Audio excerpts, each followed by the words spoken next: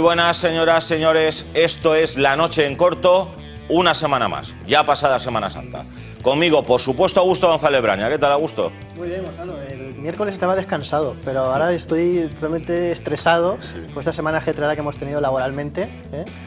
Y, que no ha acabado la cosa y, todavía. que no ha acabado todavía, todavía nos queda. Y que cinematográficamente, dice, bueno, buscas un cobijo el fin de semana para ir al cine y te encuentras únicamente con dos estrenos y de muy baja, bajo nivel, también hay que decirlo. ¿eh? Pues mira, nos da tiempo a currar en, el otro. Sí, por otro sí.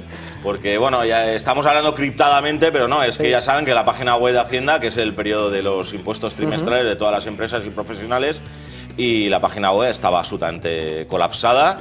Hoy ya empieza a ir un poquito ya, como dices tú, decentemente. Más o menos, sí. Más o menos, ya se pueden hacer cosas y hasta tal punto que se ha estirado el plazo para, para, para domiciliar los impuestos por Internet hasta el 17. Vencía el domingo 15 y se ha trasladado al martes 17. ¿eh?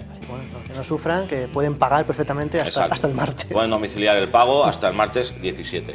Bueno, pues efectivamente, dos estrenos solamente, cuatro películas de las que opinar y corto. Bueno, hoy tenemos una, una cosa muy especial porque vamos a proyectar un corto multipremiado. ¿eh? Es un corto del año 2005. 5 6, sí, por Te lo digo enseguida, perdonen. creo que 5 2005, efectivamente. El futuro está en el porno de Vicente Villanueva. No se preocupen, desgraciadamente no hay nada de porno. No, por desgracia no hay ni una sola escena porno, ni es nada de sexo, ni nada. Es la frase final del corto, que tiene mucho sentido, mucha significación en el personaje de una prodigiosa Marta Belenguer, que está sublime. Es un corto que ganó cuatro premios en el Festival de Cine de Alicante de 2007. ¿Eh? Eh, mejor trabajo, guion, director y actriz que por cierto eh, le di yo el premio a Marta Belenguer, no sé si te acuerdas, me tocaba a mí y, me tocó dar el premio a mí a Marta Belenguer, fantástica y tal. Es un corto que se emitimos sin Vicente Villanueva, porque además Vicente Villanueva no puede venir, es, es un director absolutamente consagrado ya en el largo, con lo contrario al amor, y no puede venir. Es un corto que eh, hay que decir que emitimos por gentileza del Festival de Cine de Alicante y eh, de Vicente Villanueva en este programa y por supuesto de Vicente Seba, naturalmente, que es el que ha hecho de intermediario para que y nos ha proporcionado este corto para que pudiéramos emitirlo. ¿eh? Afortunadamente el corto es largo. Sí, dura 15 minutos. Pero, pero no se resiente, luego hablaremos de él, pero no se resiente. Exacto. Es un corto que no se lo pierdan porque, insisto, ha tenido premios por toda la geografía nacional y, y les va a gustar muchísimo. El futuro está en el porno de Vicente Villanueva. Será en la segunda parte del programa. Así que, bueno, vamos con los dos estrenos. Que tenía que haber cinco. Sí, eso, di, di, las que no entran, porque este año, esta semana es sangrante las que no entran. Sí, porque quizá nos ha entrado no vamos a decir lo peor, pero bueno, se han quedado las, interesantes fuera, eso es quizás lo que, lo que tenemos que decir. En primer lugar, se ha quedado fuera Alps, mm. creo que ya pasó con la anterior película de este director, Canino. Con, Canino, no sé si realmente entró por Filmoteca. Filmoteca. Exacto, una película, muy, muy, una muy interesante. Bueno, pues coproducción entre Grecia y Francia, el mismo director de Canino, un director transgresor, polémico, y, bueno, yo eh, confío en que esa película se vaya a proyectar más adelante. En Filmoteca. Probablemente, probablemente. Y quizá era la más interesante de todas las semanas. Sí, viene solamente con copia en VO. Entonces, pues si Yelmo no la pone, no, no, pues, no, pues tiene recorrido para Entonces en la Filmoteca el amigo Dopazo la pondrá. Luego tenemos Cairo Time. Otro que tanto, solamente copia en VO. Coproducción entre Canadá, Irlanda y Egipto con la grandísima Patricia Clarkson. bueno, un romance, un drama, un drama, con tintes de romance, y la sorpresa, me he quedado perplejo al ver esto, David Trueba, guionista y director de La Buena Vida, de Soldado de Salamina, se queda fuera con su Madrid 1987, que no es un documental, es una película de, ficción. Lo que pasa es que es una película que transcurre prácticamente toda en un aseo, con dos personajes hablando, Sacristán y, y María Valverde. María Valverde. Y claro, es una película anticomercial totalmente. Son 100 minutos en un aseo dos personajes. Claro, David Trueba no tiene, no tiene el, tirón de Nacho Vigalondo, ¿verdad? Exacto. Exacto para, para, traer. y claro, la verdad es que pues no es una película. Yo espero que finalmente sí que entre en Alicante, ¿eh? porque sería de una gran tristeza decir que este año no ha entrado una película de David Trueba por la, por la sala de exhibición de Alicante. ¿eh? Pero bueno, eh, confiemos en que se reconsideren esta situación y que finalmente entre, esta película. Y así que estas, estas son las tres, las tres ausencias de esta semana. Así que vamos, si quieres, con las, con las dos que entran, quizás las dos menos destacables. Sin olvidar la camiseta que llevas, ah. ¿verdad? Hoy vengo de, uno de los mejores cortos que han pasado por este programa en las dos temporadas que llevamos, sin duda. Hoy vengo de hombre anuncio. Exacto. Hoy parece eh, Santiago Segura. Sí, si me pilla Gallardón, me casca. Haciéndole promoción, entre comillas, eh, que no es promoción, porque es eh, a un corto que hemos emitido aquí muchas veces del amigo Paco Soto, un, amigo fantástico, excepcional. Sí, Paco que estuvo aquí con, bueno, con varios, varios cortos, con Tónico el Municipal. Exacto. Y este es, no, este es el largo. El largo, eso, el largo, que va a hacer. Que está preparando, claro, eso está en fase de preproducción el largo, sí. de operaciones especiales, siempre bueno, con la temática de la policía de fondo. Es una especie de extensión del corto, ¿verdad? De Tónico Por eso me he confundido, porque siempre los tengo muy asociados. Sí, ese corto con el largo que está haciendo, exacto. Mucho rollo torrente y demás, pero creo que con bastante mejor gusto que el, que el, señor Segura. Y bueno, está en fase de preproducción, sabes cómo están las cosas de la financiación, que te voy a contar. Y has colaborado. Y he colaborado, así que quien quiera, pues entre en su página web, compre una camiseta o aporte en cualquier donación, que bienvenida será. Cuando sobra el dinero, como el caso de Augusto, estas, estos detalles son, vamos, irrelevantes. bueno, vamos con los dos estrenos. Eh, Battleship. Eh, eh, Batalla naval. Batalla naval es una. Es que se me ha caído la ficha. Perdonen ustedes, perdonen ustedes, se me ha caído la ficha. Las cosas del directo. Ya la he recuperado. Battleship es barco de batalla, literalmente, buque de guerra, pero realmente significa acorazado. ¿Eh? Un battleship es un acorazado. Sí. ¿eh? Bueno, es una película superproducción de 200 millones de dólares, inspirada levemente en el eh, juego de mesa de Hasbro, patentado en el 31 del mismo nombre, Battleship, en, los países anglosajones, conocido en España como hundir la flota o más castizamente el juego de los barquitos. Eso que cogíamos las cuadrículas, ¿verdad? Y hacíamos el tocado y el hundido. Tocado hundido ¿no? Bueno, pues la peli nos lleva al archipiélago de Hawái. Aquí parte de la flota naval americana se encuentra de maniobras. De repente, del fondo del océano surgen unas gigantescas naves extraterrestres que pretenden hacerse con los recursos naturales de los mares de la Tierra. Por cierto, que recuerda bastante a Avis, este, es, eh, cómo se sumergen del, del agua y tal, y bueno. Bueno, pues el enfrentamiento con los humanos será inevitable y como novedad, que lo ibas a decir tú, te lo voy a quitar, la historia se cuenta desde los dos puntos de vista. Del punto de vista no solo de los humanos, sino también de los alienígenas. ¿eh? Está protagonizada por Taylor Kish, que tiene en cartel John Carter, es John Carter. Brooklyn Decker, eh, a la que vimos en Sígueme el rollo, y si no me equivoco es la esposa de Andy Roddick. Sí, ¿eh? que tiene un problema de líbido con, con su mujer. Liam Neeson, Alexander Skarsgård, el hijo de, de Stellan Skarsgård, y la cantante Rihanna. bueno, que sea lo que Dios quiera.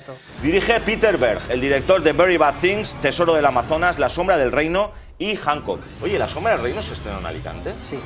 Sí, sí, es que no me acuerdo de nada de esa peli. En Panoramis. Panoramis. No me acuerdo, no sé si la vi. Sí, sí, sí. Bueno, y dos horitas diez la peli. Pues pereza, Gonzalo. Pereza, sí, pereza. La verdad es que eh, cuando salió la red social de David Fincher, o cuando se anunció que se iba a hacer una película sobre Facebook, pues todos decíamos, ¿cómo narices van a hacer una película sobre algo tan estancado, ¿no? Como una red social. Y, al final, y finalmente salió algo muy, muy ingenioso, ¿no? Que es la historia de, de Zuckerberg, ¿no? Aquí, bueno, pues quizá mm, nos lo preguntamos más, ¿cómo narices se puede sacar, o nos lo preguntamos, ¿cómo se puede sacar una historia de algo tan simple como un juego de, barquitos, ¿no? El, hundir la flota? Aquí hay truco, lógicamente. Creo que aquí se ha quedado el tema del famoso juego de Hasbro, se ha quedado un poquito como mera excusa y es la, pues, la típica película eh, belicista eh, con, de invasión de, la humanidad hecha por, por alienígenas. Que sí, que está contada desde, dos puntos de vista, pues seguramente para estirar un poco el metraje y porque efectivamente es que no da, es que seguramente no da dos horas diez para contar la típica película de, de invasión alienígena. Bueno, pues poco hay que decir. producto puramente comercial, eh, con un público muy marcado, que es el público adolescente, hiperpublicitada esta, esta película. Y yo creo que es una película que se toma muy poco en serio. Desde el punto de, desde el punto de vista de que Rihanna es una de las semiprotagonistas, pues yo creo que te, te da a entender un poquito la poca seriedad de la, de la película.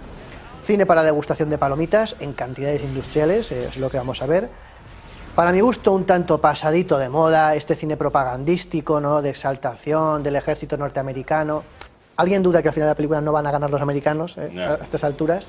Y además, eh, creo que en un par de semanas o tres semanas se estrena Acto de Valor o Acto de Honor, no sé cómo se va a traducir, Acto, acto of Valor, que está eh, interpretada por marines eh, reales. Reales. O sea que, fíjate, es un poquito la, la nueva, la nueva jornada de cine este. Para mi gusto le dio un poquito pasado, pasado ya de, de rosca y de, y de- y de moda, ¿no? Un director, Peter Berg, que para mi gusto empezó bien. Very Bad Things es aquella comedia gamberra que gustó bastante y que reivindico que la recuperen en, en DVD. La Sombra del Reino, que está bastante, bastante bien, con, con Jamie Foxx. Pero creo, creo que aquí, aquella personalidad que imprimió eh, aquellas películas, pues aquí da igual que sea Peter Berg que sea cualquier otro. Pero bueno, eh, no engaña a nadie, es la típica película de invasión alienígena. O sea, que todos sabemos cómo empieza, cómo se desarrolla y sobre todo cómo va a acabar. Ahora, que aguante dos horas diez, Ya. eso quizás es el gran hándicap. ¿eh? Muy bien, bueno, pues Battleship. Y bueno, y para los más, en fin, los más adultos, ¿no? Los que no le gusten los barquitos. los que no le gusten estas películas de evasión, que es todo mentira y tal, pues tenemos en Cinebos Plaza Mar y en Losana de Alicante, pueden ver de Nicolás a Sarkozy. Eh, el título original es La Conquête, que significa la conquista, y obviamente es una peli francesa que, atención, recrea los cinco años anteriores a la elección de Nicolás Sarkozy como presidente de la República Francesa en el año 2007. Es decir, la peli nos cuenta cómo eh, Nicolás Sarkozy fue ascendiendo entre 2002 y 2007 hasta alcanzar el cargo que tanto ansiaba.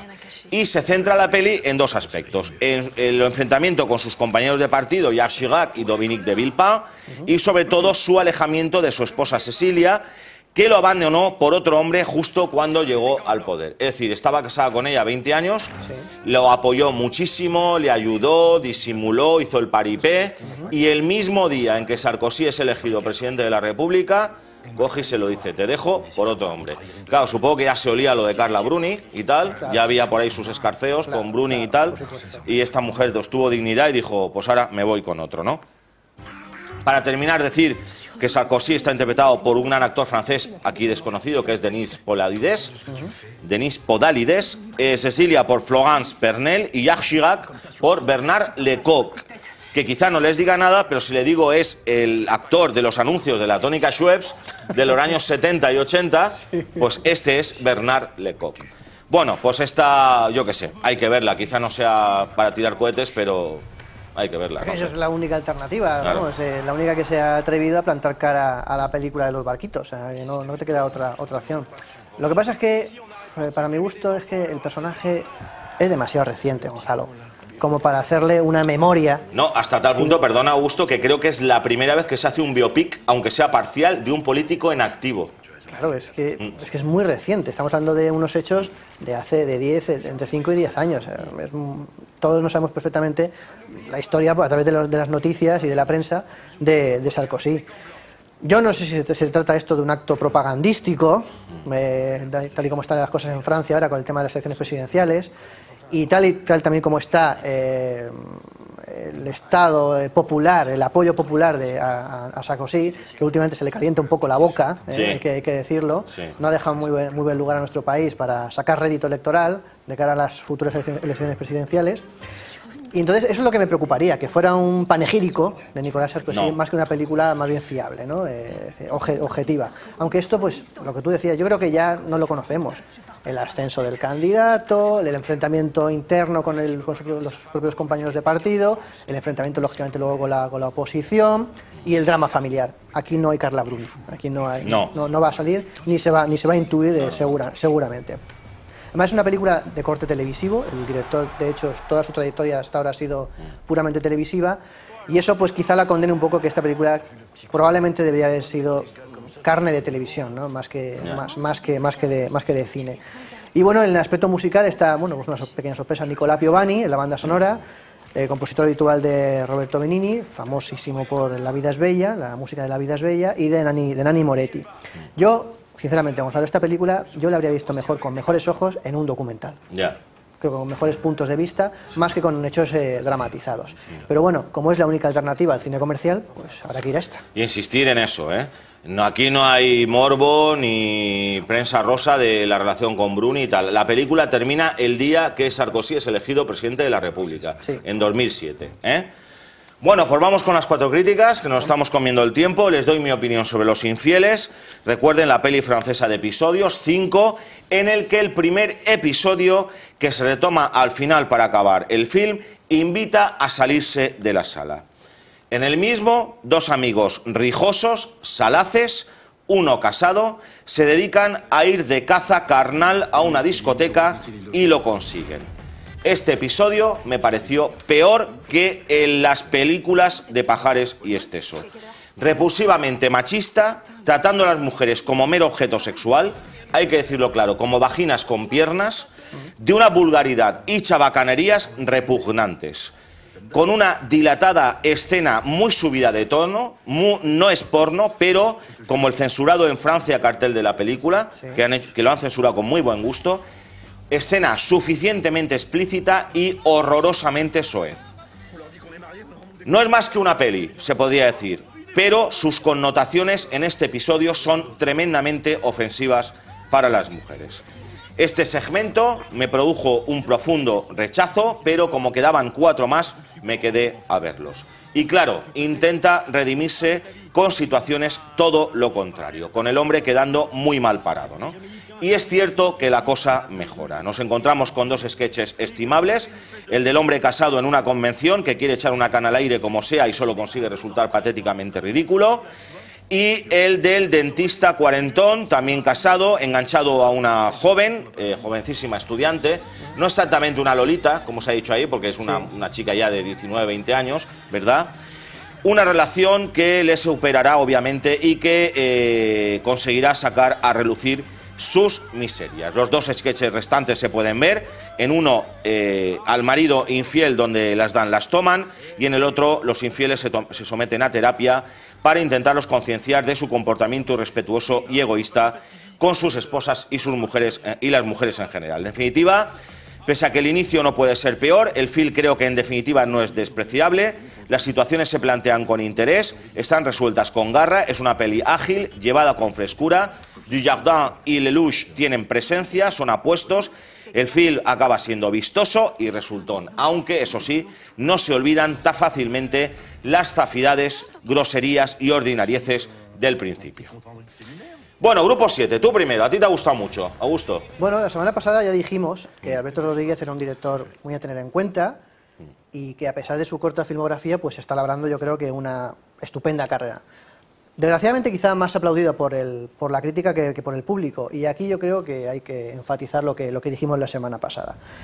La verdad es que Grupo 7 es una película potentísima, eso hay que, decirlo, que entra por los ojos eh, a primera vista y que muestra sin, sin, concesiones el mundo de la droga. Además lo hace desde diversos puntos de, vista, ¿no?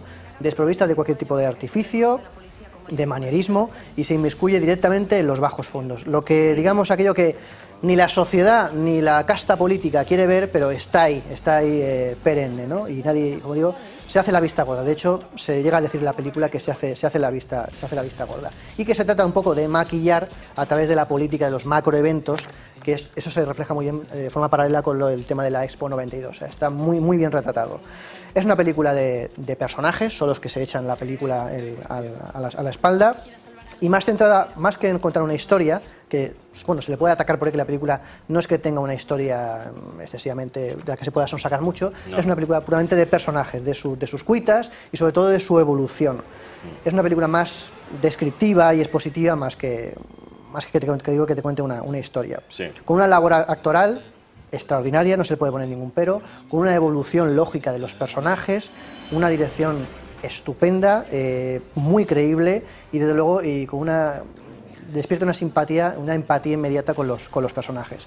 Magnífico empleo del ritmo narrativo, del, del timing, con una estupenda expresividad en los gestos, el uso de los silencios. Vamos, a nivel de dirección de actores, la película es absolutamente sobresaliente.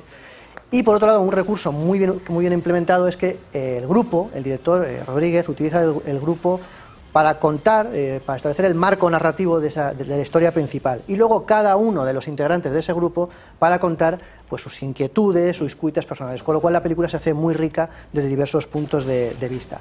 No falta la denuncia, la, crítica social, muy bien insertada, bien, bien escondida, y la humanización de ciertos personajes absolutamente miserables, tanto los que están a un lado como los que están al otro lado del mundo de la, de la droga. Y además con una representación muy seca, muy dura de la violencia, que bueno, pues enfatiza mucho a los personajes, sobre todo los métodos poco expeditivos de los, de los policías. ¿no? Para mí una, película magnífica, supongo que a final de año estaremos hablando de esta, de esta película como una de las mejores del, del cine español, con momentos eh, realmente aterradores y creo que ha sabido aglutinar muy bien, por un lado, el cine policíaco, por otro lado, el drama familiar y por otro lado la crítica político-social. Y bueno, no se, no se, asusten porque salga Mario Casas, que quizá es el, quizá el punto débil en cuanto a su interpretación, pero bueno, si pues se abstraen de eso... Mm. Sí, a mí también me parece un atractivo y seductor policíaco español, inspirado en ese grupo real, el Grupo 7 de Sevilla, que se le encargó de limpiar de droga al centro de la ciudad en los años precedentes a la Expo del 92. Y en el film yo diría, gusto que ese Grupo 7, compuesto por cuatro policías, está planteado como una especie de intocables de leonés. Pero atención, con métodos brutales y manifiestamente corruptos e ilegales, ¿eh? siguiendo el axioma de que el fin justifica los medios. Dicho esto, la peli es convincente, sobre todo en la descripción de personajes y ambientes marginales de Sevilla, como decías, Augusto, traficantes, yonkis, confidentes, las barriadas de extrema miseria muy degradadas. Es un film contundente, potente, vigoroso, de ritmo altísimo, intenso y con fuerza expresiva. Y muy violento, ¿eh? muy violento. Pero creo yo, eso es la pega que yo le veo, demasiado enfático ¿eh? en todo momento. Creo eh, afectado dramáticamente, también con algún efectismo dramático, y alguna escena me pareció recargada de gravedad. La narración me pareció un poco brusca, un poco tosca, yo creo que le falta un poco de serenidad, aunque nadie duda que la peli atrapa y engancha desde el principio. Sin duda alguna, la mejor escena es la de la humillación de los policías, eh, repleta de tensión, muy buena escena. En cambio, efectivamente, me cuesta ver a Mario Casas en el rol de policía casado y padre de un hijo. ¿no? Y también me sorprendió a gusto ver a Inma Cuesta en un papel secundario muy por debajo de su categoría. ¿eh? Pero bueno, hay que comer, ¿no? Eh, en definitiva, la peli funciona, es una peli muy efectiva y muy estimable. Quizá todo lo contrario, ¿verdad?, de la fría luz del día, ¿no, Augusto? Pues a mí me habría gustado hablar bien de esta película, mm. pero desgraciadamente es que no es defendible. Eh, no voy a decir que es un engendro. No, tampoco es tan espantosa, ¿no? Pero es, una, película muy, muy fallida, ¿no? Para mí es un juguetito roto, ¿no? Mm. Yo creo que porque su propuesta era un tanto artificiosa y ya queda una película pues aparatosa, una película ruidosa, yo creo que demasiado apoyada en las secuencias de acción. ¿no? Se puede decir que es, una, es un collage ¿no? de set pieces de, acción. Algunas conseguidas, sobre todo las, las, persecuciones de los coches y demás, y otras quizá no tanto, ¿no? la de las peleas cuerpo a cuerpo y demás, quizá, quizá no tanto. Parece una película, podría decir que es una película dirigida por un especialista de cine, que maneja muy bien esos, esas eh, secuencias, pero no tanto el tema del guion. Y es que el problema de la película está en su, en su guion, que se inicia de una forma un tanto ramplona, convencional, bueno, entras en la película sin, sin más, pero luego, bueno, pues eh, se va por otros derroteros y tira demasiado de, de, pirueta y la convierte en una película, para mi gusto, algo inverosímil, confusa por ciertos momentos y que pues trata de funcionar a golpe forzado de secuencias de acción, aunque no esté justificado. Sobre todo la primera parte de la película tiene una fotografía por momentos muy muy pobre, luego mejora, pero esa noche americana está un poco, no sé, no, creo que técnicamente a la película le falta, le falta un nervor, ¿no? Interpretaciones pobres, hay que decirlo, algunos están ahí para cobrar, es el caso de Bruce Willis, con una mm, nula interrelación de personajes, algunos personajes caricaturescos, como el de Verónica Echey y sobre todo, sobre todo, el de Oscar Jaenada, y que desentonan en absoluto con, con, la película. Y bueno, pues y al final desemboca en un final, para mi gusto, un tanto demencial, abrupto y incluso incluso risible, ¿no? La película la verdad que tiene un guion que se, desarrolla muy mal, con un eje central que se explica en dos minutos, muy, de forma muy concisa, muy rápidamente, y como digo, con unos diálogos por momentos de, vergüenza ajena y con una dirección que por momentos roza lo, puramente amateur. Yo no sé cómo Sigourney Weaver, que es la única que le pone cierto empeño en esta, en esta película, y Bruce Willis, pues se han, se han prestado a esto, ¿no? Supongo que, bueno, pues querrían hacer unas vacaciones en España y les ha salido, eh, incluso le, han pagado por ello. Mucho ruido y pocas nueces, lo que podía resumirse esta, esta película. Una película, pues, falta de un guion que la, que la sustente, que la, que la conduzca, que le sobran escenas de acción, que aunque creo que no, no aburren, pues eh, acaban siendo pues meramente forzadas y, y exageradas. Ya. Sí, eh, para mí una peli lo esperado, es decir, un muy convencional thriller de acción, pro árabe, por cierto, Sí. pro árabe, eh, con agentes de la CIA encubiertos, maletín con secretos militares, del Mossad y héroe a su pesar, el héroe a su pesar. Un argumento que a mí me recordó a gusto a la reciente El Invitado y que acaba agotando al espectador porque se va haciendo progresivamente confuso y socorrido, ¿no? Y porque el abuso de cámara al hombro puede llegar a marear también.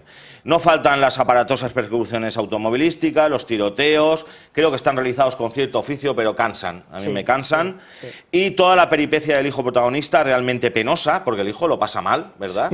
Eh, un pobre desgraciado y tal, es bastante inverosímil. Sí. A mí me parece que no es fácil de creer que un asesor financiero y una hermana que no conocía sean capaces de hacer frente a un grupo de agentes árabes y a la CIA, ¿no? Y por cierto, em, con, con persecuciones que en el centro de Madrid, Madrid an- ma- an- manga por hombro y la policía sin hacer acto de presencia, Sí, ¿no? sí, sí. Por ejemplo, muy ¿no? muy. Y que de repente pues, posean capacidades físicas y operativas tan habilidosas. Incluso que se manejen con diligencia en una operación tan violenta, ¿no? Porque la peli lo es también, es una peli violenta. El personaje de Bruce Willis, vamos a informar a la gente, que la gente no se engañe, desaparece a los 20 minutos. No se crean que van a ver una peli de Bruce Willis, porque Bruce Willis desaparece a los 20 minutos. ¿eh? Y el film se resiente de ello. ¿eh? La fotografía muy deficiente, muy deficiente, pese a los escenarios tan reconocibles del Madrid Monumental y la costa alicantina. Yo diría que si uno se olvida de ser exigente, pues puede funcionar como un pasatiempo absolutamente intrascendente. Bueno, y terminamos con mi opinión sobre Take Shelter, la peli de Losana de Alicante, eh, este drama. Bueno, me ha parecido una interesante película, realmente sugestiva, pero que al final deja la sensación de mucho ruido y pocas nueces. En efecto, durante casi todo su metraje asistimos a la gestación de un trastorno mental del protagonista, un amenazante Michael Shannon en todo momento, en concreto al desarrollo de una esquizofrenia paranoide y sus devastadores efectos en la familia y el trabajo de quien la sufre, y también el rechazo social que produce. Aquí el padre de familia padece visiones y pesadillas de una tormenta apocalíptica y se obsesiona en construir un refugio, una tesitura que puede verse quizá como la, eh, una metáfora de la inseguridad y las incertidumbres del hombre de hoy, ¿no? que tanta ansiedad produce, como que no vaya a la página web de Hacienda, igual. Lo mejor que se puede decir del tratamiento que realiza el film es su rigor dramático, eh, su seriedad, con un estilo solemne, grave, que genera una atmósfera realmente inquietante, pero también con una narración excesivamente pausada y reposada. Es un film, tengo que decirlo, muy lento, lo que unido a un limitado guion hace que la peli se resienta y sobren bastantes minutos, no hay para dos horas.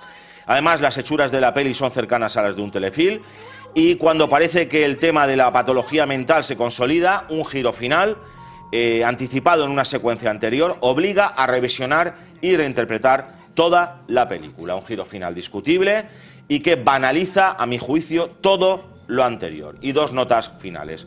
Estupenda, fantástica Jessica Chastain, fantástica. Y eh, también la película muestra muy bien lo que es la monotonía de la vida en el medio oeste. ¿eh?